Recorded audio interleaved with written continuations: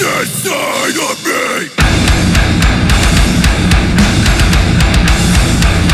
And I am desperate for a morning